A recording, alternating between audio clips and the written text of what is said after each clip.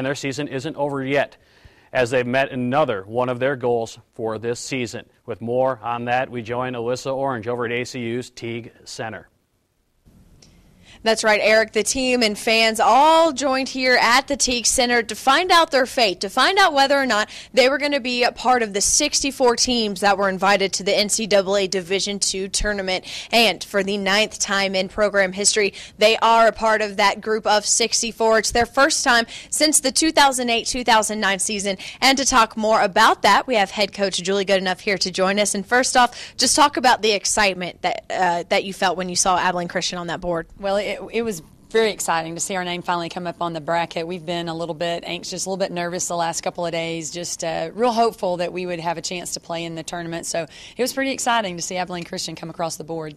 With such the uh, fulfilling season that you guys have already had, already accomplishing these goals that you set for yourselves, how much is this an exclamation point to the end of the season? Uh, it, it, really is. I mean, we're excited about being in the national tournament. Uh, our goal was to win the conference championship and be able to represent ACU in the NCAA tournament. The last season, we have an opportunity to qualify for the Division II tournament. So it's it's pretty exciting. I'm really excited for our, our juniors and seniors. They've been the leaders for our team this year and have done a great job. And so uh, uh we're excited about taking our show on the road and, and doing the very best job we can to represent Abilene Christian. And on top of that, it's exciting. You guys are playing UT Permian Basin, and it's a team you already know.